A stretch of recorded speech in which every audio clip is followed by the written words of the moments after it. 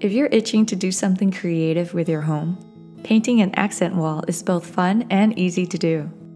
Today, I'll show you how to create a near perfect half circle headboard using just a few materials. All the materials in this video will be linked in our description. Also, enjoy the relaxing background music, which is part of our new cozy soundtrack, available for purchase at thehoogashop.com. Now, let's get started.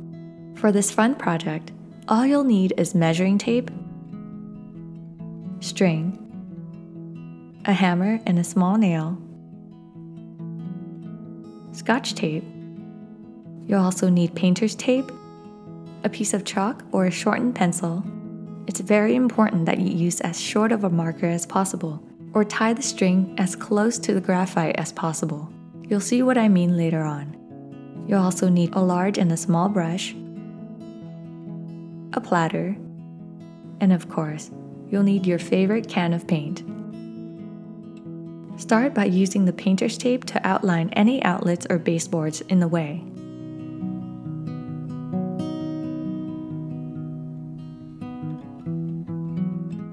Measure your room and mark the center of the room, or wherever you want the center of the headboard to be.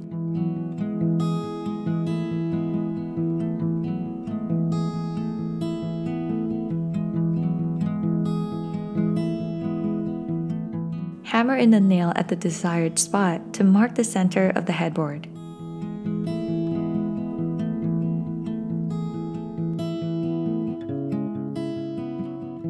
Depending on how wide you want your half circle to be, measure that out and cut the string to size, leaving an extra 3 inches on each end.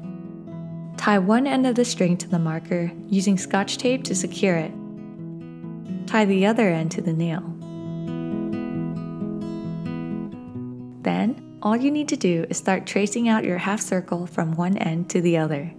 It's that easy and super satisfying. After the outline is all traced out, use your smaller paintbrush to create a precise edge. You can also be more lax with the edges if you want a more organic look.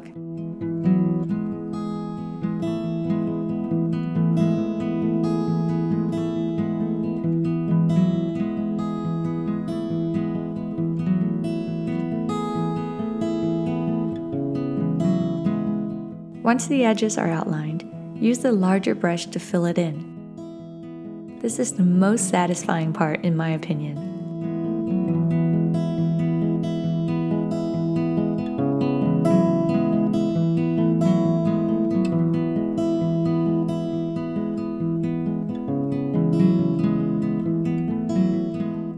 And that's it.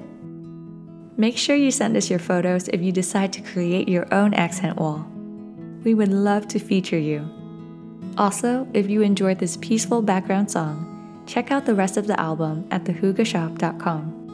Until next time, Hygge friends, see you!